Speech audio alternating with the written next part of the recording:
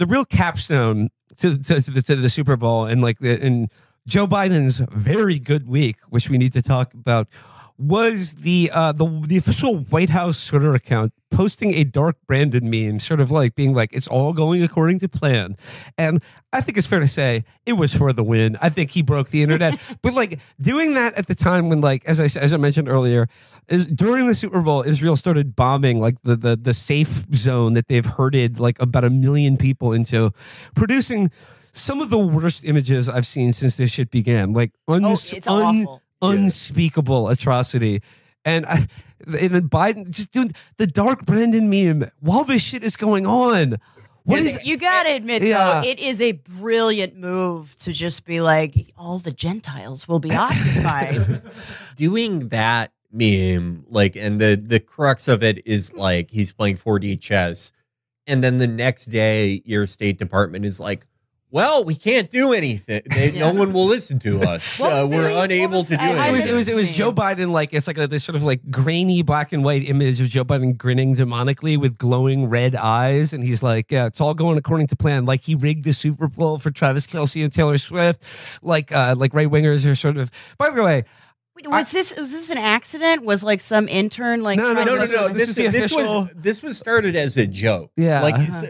people the people who did this at first. I'm talking about the very first people who did it who created it. It wasn't a pro biden thing. It was a joke Yeah. because you know his he was having like the worst approval ratings ever and they thought it would be funny if they made like fash wave joe biden yeah Right. like like if they made him seem like hitler So do you yeah well think we don't have to imagine thought what it that's like- like Yeah. anymore Do you think the team thought it was like a a compliment? yes Yes, yes, yes, that's yes, literally that's literally what happened Glowing red eyes. Yes. Nothing says charisma like glowing red eyes. That's Yeah. liter- but th those people love. They think it's the coolest thing ever. And like every time, I've noticed every time Biden like shits his pants or shows up to a press conference naked, they bust out Dark Brandon the next day, and they're Yeah. like, uh, "Everything's fine. He's not going to die soon." uh, it's like uh, also uh, like in, in what he was referencing like the, the super bowl psyop conspiracy i just saw before we uh, got on someone said i never would have guessed 10 years ago that liberals would get the nfl and the national divorce but i guess that's that's what's happening now because football is gay and satan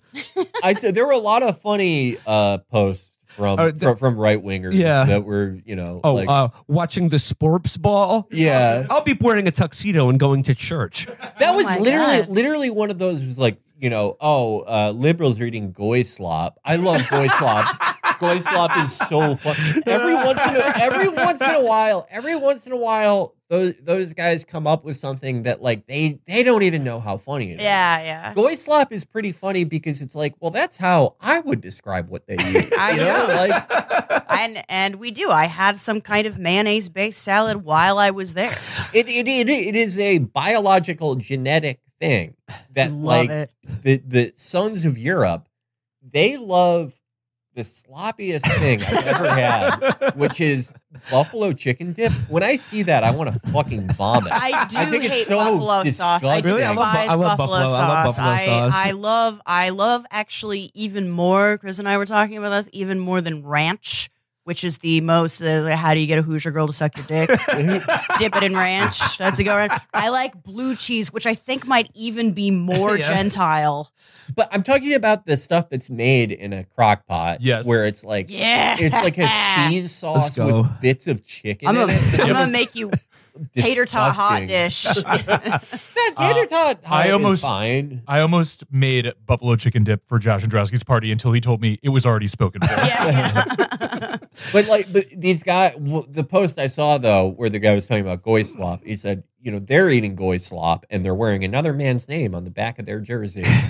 Meanwhile, we're praying and wearing dress clothes, yes and it's We're- like, are you we- twelve? yeah, yeah, like, they're like they're like i won't be watching the super bowl i'll be playing dress up with my friends what what do you think it is like because I, they the- they still have the the huge military thing there's still the weird It's- it's- christian it's- no, guys it's, it's just because Travis Kelce got vaccinated and Taylor Swift is his girlfriend. Uh, That's basically yeah. it.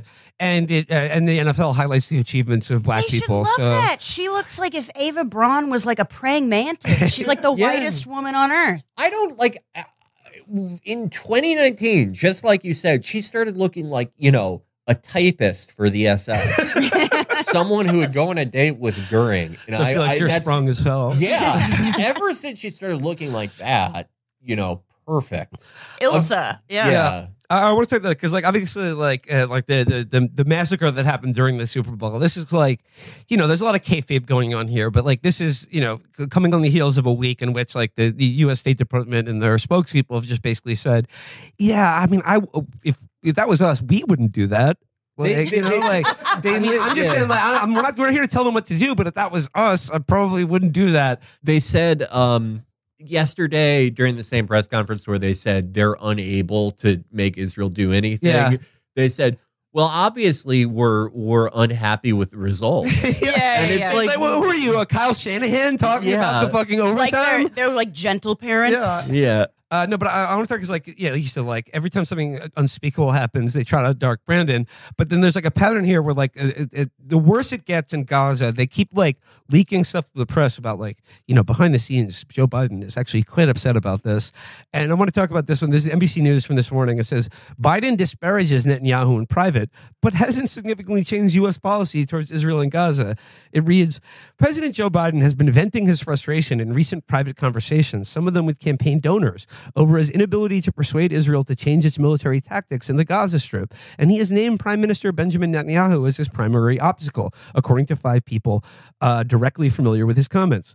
Biden has said he is trying to get Israel to agree to a ceasefire, but Netanyahu is giving him hell and is impossible to deal with. And then it goes on to say, like, that he. He calls him, at least in three recent instances, Biden has called Netanyahu an asshole, according to three people directly familiar with his comments. It's like, did they think that this makes him look good, like impotently talking shit about some guy behind his back? Yeah, Netanyahu straight up just openly says we have to tell our friends no. Like he's way more assertive. Yeah, he's like it. Biden is calling Biden's calling Netanyahu a real jerk to people behind his back. It's just like I'm just imagining him talking. He's talking about Netanyahu like the guy uh, Jerry Lundegaard tries to sell TruCoat to. He's like, You're a f- fucking liar, Mister Netanyahu. You lied to me, Mr. Lundegaard. You're a bald faced liar. They were they've been doing this for weeks now and like it they don't realize how fucking weak it makes Yeah. them look. Like if we're going to take it like I don't believe them. I'm not taking them at face Yeah, value yeah, yeah. that they're even trying anything, but if they were and somehow with a nation that we're, we're going to give 17 billion dollars to, a nation that cannot fucking exist without the most help Mhm. out of anyone. They need so much fucking help just to keep running. They admit it that you can't get them to do anything. I really kind of like I thought under this at this point they have at least a some level of self sustainability No. for as small as they are. No, like during during Obama, one of their goals was to like become more self-reliant. Like a And to- normal country. yeah, Right. to, to have to have it so that but why would you if if you know mom doesn't make you move out of the basement? Yeah. Well, they, they tried and they failed, and they openly admit that they weren't able to do that. Yeah. and it, I mean, they need a lot of help. Not all of it is from America, of course. Yeah. They they uh, get help from you know the Five Eyes nations. They get a lot of help from Russia, which no one on any side likes to admit. hmm But yeah, no, they they are one of the most uh, dependent nations on earth. Well, calling well- publicly for a ceasefire, I mean, like it would make them look even more impotent because he would just be like, "No, yeah. like uh, there's no." Well, it's it's more embarrassing the leaks or whatever, but like he's kind of just in a like they're they're not going to stop fucking giving them money. Well, yeah, and then I, I saw this morning the State Department press conference with that guy Matt Miller, and they were asked like, "Well, if the president's like unhappy with what's going on right here, like if has he used any leverage?" And the Matt Miller said, "We think the president's words matter. So, like next week, if Israel kills another two thousand children, he may drop the f bomb. Yeah. he may Yeah, break out the F word. They're never going to do anything. Even even like Netanyahu is like, yeah, we're not going to listen to this senile old man. Like he does not care. You know, like the words they're talking about that matter was Biden during his press conference that was overshadowed because he Yeah. called Sisi Mexican because he said Sisi was a foo. Uh, uh, he said that Israel's response was over the Over top. the top. Wow! bit wow! much. Wa- wa- watch out there, Edward Said. Yeah, it was a bit much. He's a little on the nose. It's a yikes from me. Okay, but like, okay, now, now we got to talk about last week the Joe Biden. The, the Joe Biden press conference, which like I wasn't aware it was even going on at the time, and then I like look at the timeline, it's blowing up. I had to stop watching Love on the Spectrum, a show a show I deeply love, because I was just like, I need to dive into this. Who let him do this? Who let him? They were like, okay, well, the special. I mean, I guess they were kind of forced to because the special counsel's report basically said about Biden's own mishandled classified documents case said we were dec- like we, basically we declined to prosecute because any jury would just find him a well-meaning but essentially forgetful and elderly old man. Yeah, And then they they were kind of admitted it. Yeah, Yeah, and yeah. then like they were like, well, uh, time to show you who's elderly and forgetful. And he comes out there, and I mean, like the Sisi Mexico thing. I, I'm I'm I'm going to give him a pass on that. I think the thing that really uh the thing that really set this off was the fact that um, he referred to Mitterrand as the president of Germany. That was before. That was, before. That was before. But like going into this, and then he calls Sisi the president of Mexico, which is our good friend Ev. Shout out Agent Napoleon said it's kind of understandable because Egypt and Mexico, deserts, walls on their borders, and giant pyramids. Giant. yeah, giant. Yeah. pyramids. Yellow yellow filter Yeah. when you're in them in a Yeah, movie. yeah, yeah. the grainy, the grainy piss filter on when Yeah. an American movie is trying to say that we're in either Egypt or Mexico.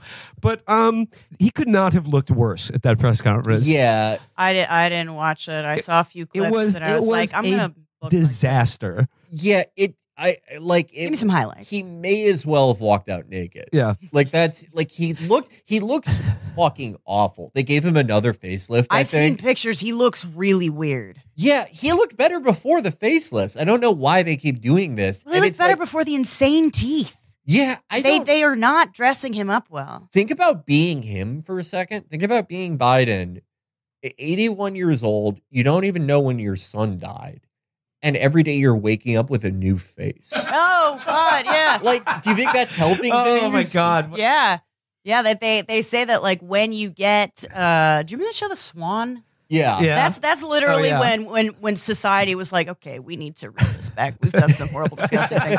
But apparently, like when they they weren't allowed to look at themselves, and then uh, after the plastic surgery, and then they took it off and looked in the mirror, and everyone cried, and they they kind of edited it to make it be like, oh, they're so happy that they're not fugly and thus and thus useless bitches. But apparently, like the, after they talked to a few of them, they're like, I was freaking out. It was really, really, really upsetting. He must be having that like every other day at least. And then Yeah. he forgets about it and looks for his slippers or whatever. Yeah, no, it's got to be just jarring. But like he, I- there's no getting out of this. You know, No. like the only move they have is to be like, well, like Trump, Trump's He's fucking also old senile. too, Mhm. which is true. Like Yeah. they're both yeah. like the day, the same day or the day after Trump uh called Orban the leader of Turkey. Yeah. uh, yeah, there's It's- just there's no like affirmative defense. well, he's of it. having more mo- more senior moments too. I've noticed Trump. Those Yeah. are- Yeah. Those Well, I mean, like they're both bit. in their fucking eighties. Yeah. And I was, I was talking to Chris before he got on, and it's like, i- is it like you know, does, does he have full full blown senile dementia?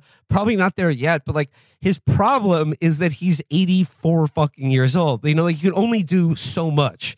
And as Chris, as you were saying, it's just like, regardless what you think about it, like the job is to perform the office of the presidency. You have to like play the part, and he is failing at that because of one reason or another.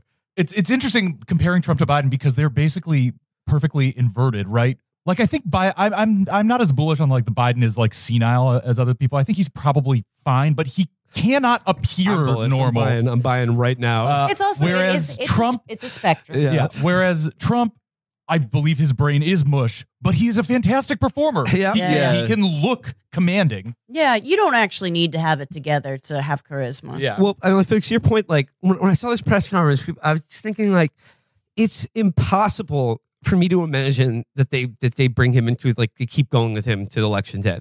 It's impossible for you to imagine, but also impossible for me to imagine that they do anything about this. right. Yeah. right. It's just like it's just Well, look, here's the thing. In terms of performing competency and professionalism and knowing that there's an adult in charge, they can always rely on Kamala.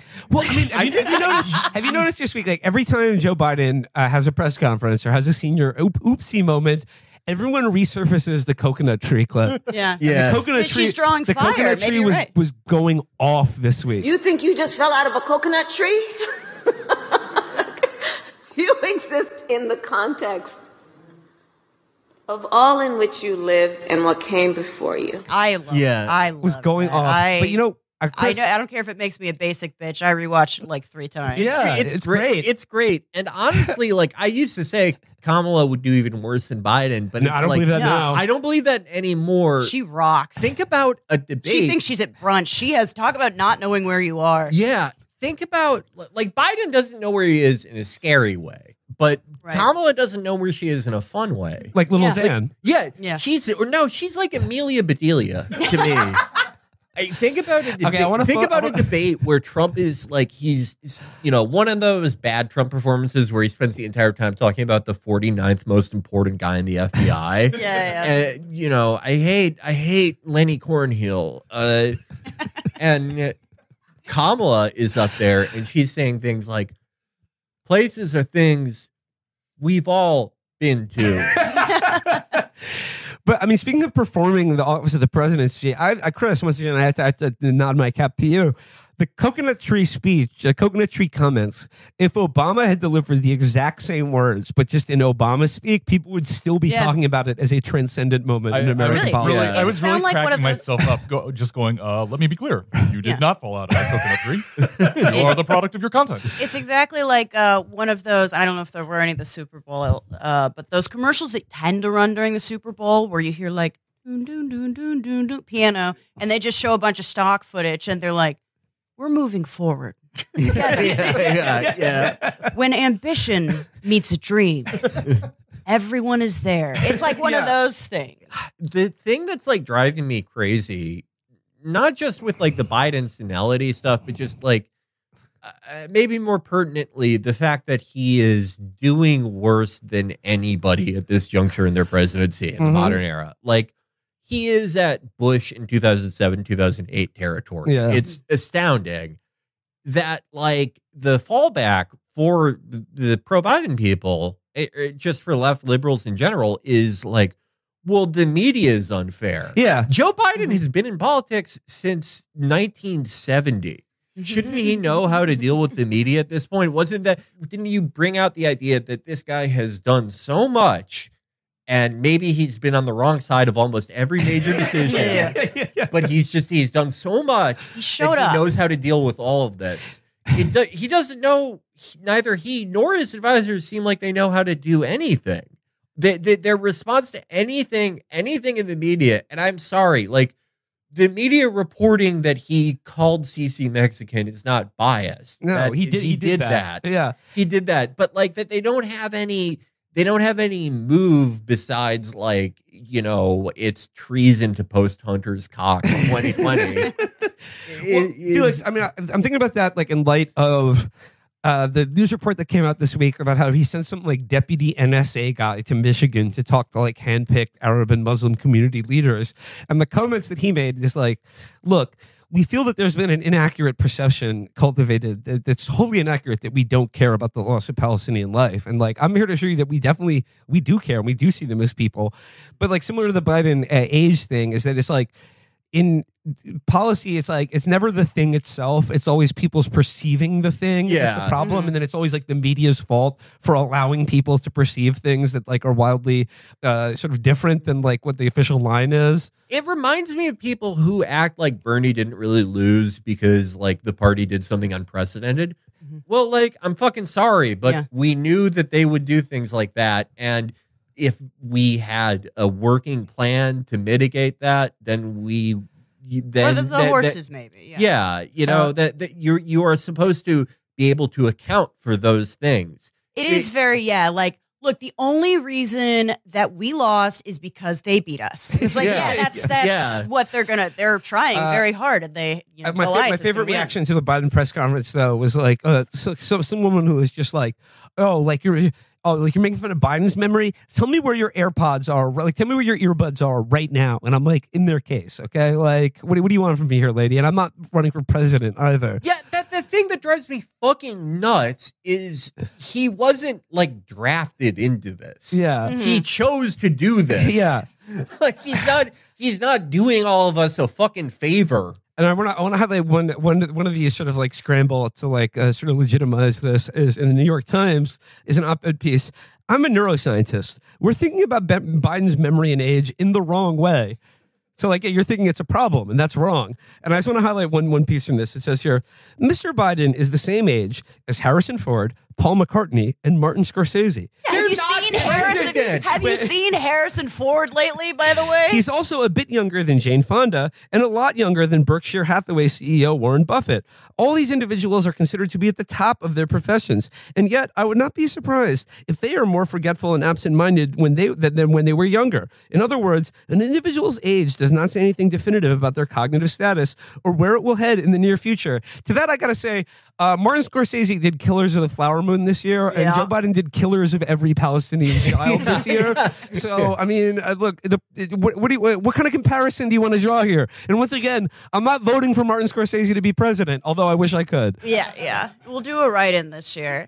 It is it's also weird because it's like, well, I don't know. I also see him talking. And I saw the little narration that Scorsese did before Killers of the Flower Moon, and I'm like, he seems like he's got it together. Maybe he doesn't, but at the very least, I don't constantly see Martin Scorsese having senior moments. Yeah. Well, he was in a Super Bowl commercial, too. I forgot about that. yeah, his output is like, yeah, just signing off on every horrific crime against humanity done by Israel, or like trying to play 5D chess by like I- I don't know, trying to pass an immigration bill that just is everything that the Republican Party wants. Yeah, like ending all asylum. Yeah. I mean, I guess their response to that would be like, look at this uh, one column on this graph about consumer sentiment. Okay. Yeah, you got it. So yeah, like I mean, it, I I just don't know where this is going. Like I said, it's impossible. It's insane to me that they would let this guy continue to run for president. Just get Kamala in there. If that's what if that's what it takes, you'd be better off with Kamala at this point. The- I don't know. I'd be like, yeah. but I, I I'd be not surprised at all if they if if it's November and he's still out there. This is their best asset right now is Dobbs. It's abortion. And Biden, I don't even think this is a product of senility. I think it's more a product of like how fucking old he is and how he calculates political decisions. It's always 1995 for him. He's still going out there and saying, you know, I'm not for abortion on demand, which is What like the double not on demand yeah, be? What, what, as opposed to what a lottery system? like it's so I, I that And you don't enter yourself. You have to do. It's like Shirley Jackson. but it, it's like that. Is, it's so that so is just not meeting the moment. He's running. like he's we're so away beyond that. from the single issue in which he has like a, a fifty point advantage over Trump and the Republican But Party. at the same time, he's fucking showing up to like huge events that are like anniversary of Roe v. Wade. I remember the the fucking PR statement for it. It's like celebrating Roe v. Wade. It's like I don't think you get to celebrate it when you lost it on your watch. Yeah. Uh, the the arguments are always bringing out like you know their best one. The best thing they have is abortion, right? But the other stuff is like you know uh think about what Trump will do to the undocumented. Think about what he'll do at the border.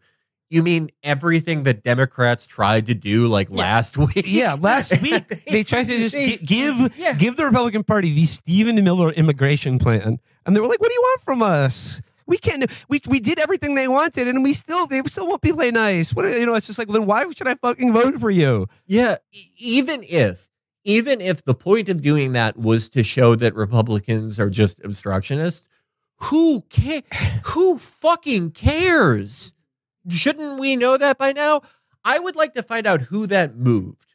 Yeah, Who was like, I'm not voting for Biden. And then they saw that uh, the Republicans just didn't vote for like the bad immigration bill. Oh my God, these guys don't want to get anything done. Who does this work on? Who is this for?